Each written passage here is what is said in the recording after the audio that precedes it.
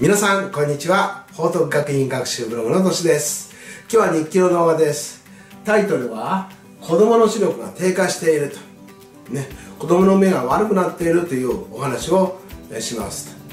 えー、先日このメガネがちょっとね壊れちゃってねメガネ屋さんに週に行ったんですけどついでにあ自分の視力ねあの調べるとあ目が悪くなってました。老眼なんで老眼が進んでたんですね。そして結局はね新しいメガネを作ることになったんですけれどその時聞いたお話で、えー、子供の視力って今昔と比べるとねどんどん悪くなってるんですよというお話、えー、こういうお話があったんです。ね。裸眼視力が1.0未満の子供の割合割合が増加していると。具体的には小学生の35%中学生は57%高校生68%、えー、こういう子どもたちがもう裸眼視力が1.0未満。これは30年前と比べると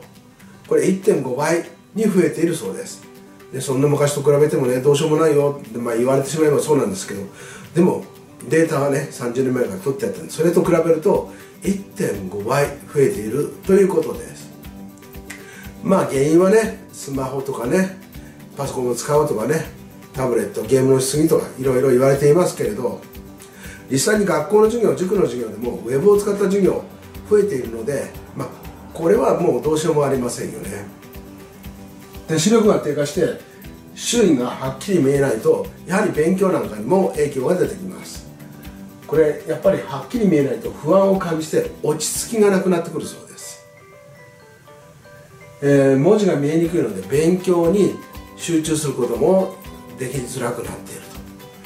と、えー、こんな影響が出ているんですね。でも予防する方法、えー、こちらも聞いてきました。どうすれば予防ができるのかまず朝起きたら太陽の光を浴びるといいそうです。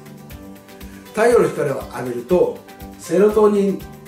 というホルモンが出てこの眼球の温度これを活発にしてくれると。そういうことです。で外で遊ぶことと。太陽の光の中にですね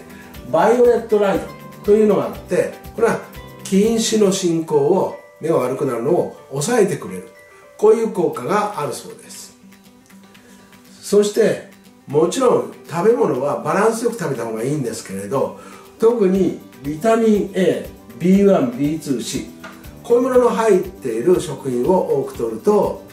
この目が悪くなるのを抑えてくれると、えー、さらに夜寝る前これはよく言われていることなんですけど夜寝る前1時間。これはもうスマホとかゲームは禁止。ねブルーライトって